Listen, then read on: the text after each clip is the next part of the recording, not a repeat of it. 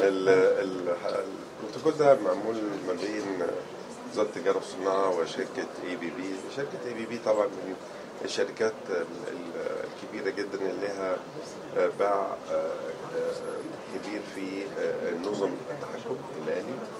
ال- البروتوكول وده جزء من المساهمة الاجتماعية فيها. وإحنا دايما بن بنشجع الشركات خاصة الشركات الكبيرة إن هي تشارك في المساهمة الاجتماعيه وده جزء من دورها. البروتوكول المعمول النهارده ما بين وزارة التجارة والصناعة والشركة ذو شقين، شق هو آه، آه، تطوير وتدريب آه، خمس مراكز من الكفاءة الإنتاجية آه، في نظم التحكم الآلي ده داخل فيها أجهزة وداخل فيها تطوير الطلبة وتطوير المناهج وتطوير المدرسين. فإحنا بنبص على المنظومة آه، كاملة.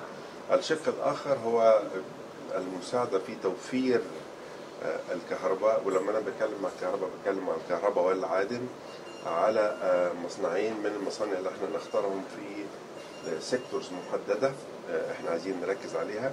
ده هيكون داخل فيها توفير ال- الكهرباء بالأجهزة بالأنظمة اللي فيها. بحيث إن بعد كده هذه التجربة لما تنجح يتم تكرارها في مصانع أخرى.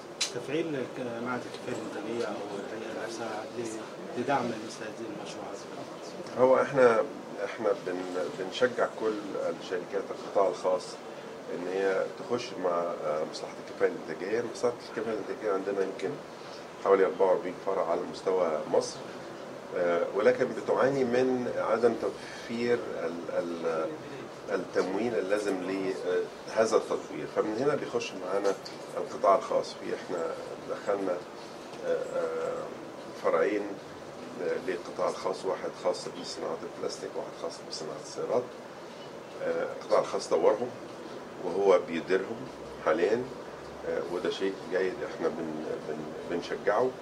والنهارده في تطوير آخر جاي من شركات أخرى فبنساعد بن بنشجع الشركات إن هي تقدر تشارك معانا في تطوير هذه شكرا شكرا.